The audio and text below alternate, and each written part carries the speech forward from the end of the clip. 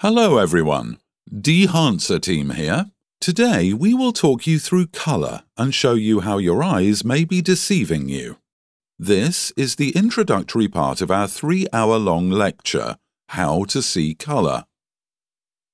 Before defining colour, I'd like to quote Richard Langton Gregory, author of Eye and Brain, The Psychology of Seeing.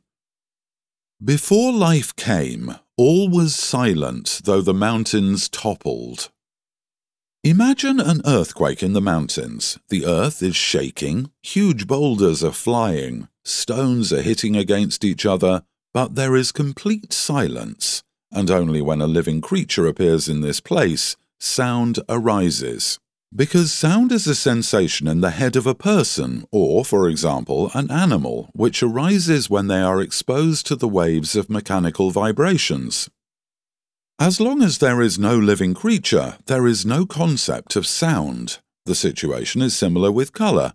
Until there is a living creature, the concept of colour does not exist, although there are natural phenomena that are capable of generating this sensation. So, here is the definition of colour.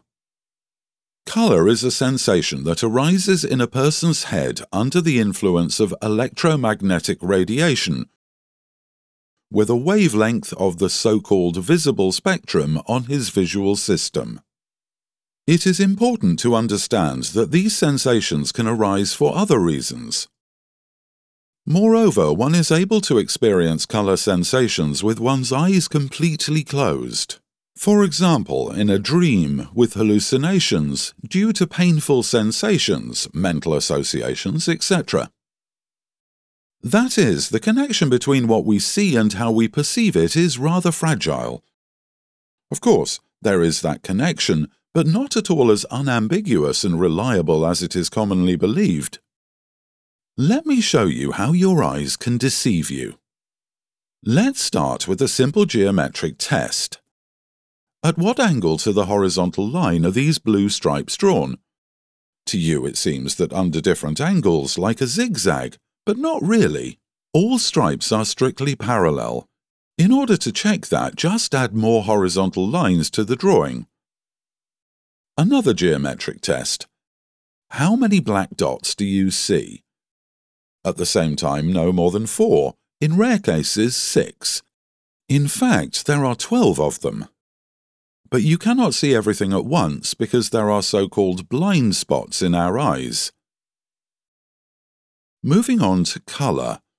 What colour are the circles you see here? That's right, different. Pink, green, yellow, sometimes pale blue. In fact, all the circles here are the same light pink colour. If we measure the colour values of the circles using the eyedropper in Photoshop, we will see the same numbers. That is, physically, the same wavelength affects your eyes from different parts of the screen. But at the same time, you see different colours, because the perception of a colour depends on the environment in which it is located. This illusion is called the Munker-White's illusion. The next test will show you how your eye can make an error in assessing brightness. What colour are squares A and B on this board? You can see clearly that A is dark grey and B is light grey. But in fact, these squares are exactly the same. To see this, it is enough to connect them with one common plate. Another similar test, but this time in colour. What colour are these squares? I am absolutely sure that you perceive the bottom as yellow and the top as brown. In fact, these squares are the same colour. In order to see this, I will select one of them and move it to the other, and then move it back. As you can see, your eyes are often deceiving, so you can trust them only conditionally, and there is no such thing as true colour at all. Well, the last test. In my lectures, I call it a clean shot to the head, now you will finally be convinced that your visual system is able to see something that does not exist at all. So, in front of us is a black and white photograph. In this test, I will show you three slides. The first one is black and white photography. It is already in front of you. The second slide will contain some kind of colour abstraction. Those will be coloured spots spread across the screen, and the third slide will be the same black and white photograph again. So the first and the last slide are the same black and white photograph. Between them are colourful nonsense, which we will be looking at for 10 seconds. In order for the test to be as clear as possible, you need to select a point on the image and look at it steadily. Let it be, for example, the right eye of the subject. For your convenience, I have marked this point in red. Ready? Now the colour abstraction will appear and the countdown will begin.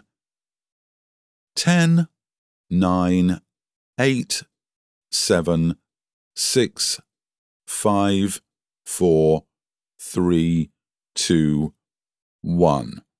Attention, I am switching back to black and white photography. What do you see? That's right. For a few seconds you observed a full colour image, while looking at the black and white. This lasts a different amount of time for different people, usually from 1 to 6 seconds.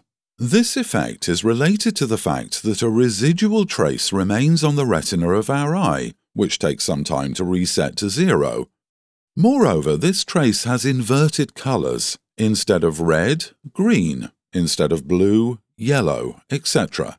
The longer the retina was exposed to that, the longer that trace persists. In our test, I showed you the inverted colours of the original colour photo, which flipped on the retina to normal and was layered on the black and white image. As a result, for a few seconds you experienced a full-fledged colour sensation, looking at a completely black and white image. To sum up, working with colour, be it photography, painting or cinema, we cannot be guided by such criteria as true colour, lifelike colour, and so on. What we see is a kind of convention in our head. We are not dealing with wavelengths, but with sensations that arise under the influence of these waves or even without them at all. Accordingly, it makes sense for a colour artist, photographer or colourist to work not with a spectrophotometer or a histogram, but with sensations. And in this case, we have completely different criteria for working with colour namely colour variability, colour harmony, and colour expressiveness. There are several big topics behind these concepts that I may try to cover in the next videos. Thank you for your attention. I hope this lecture was useful or at least curious, and see you soon.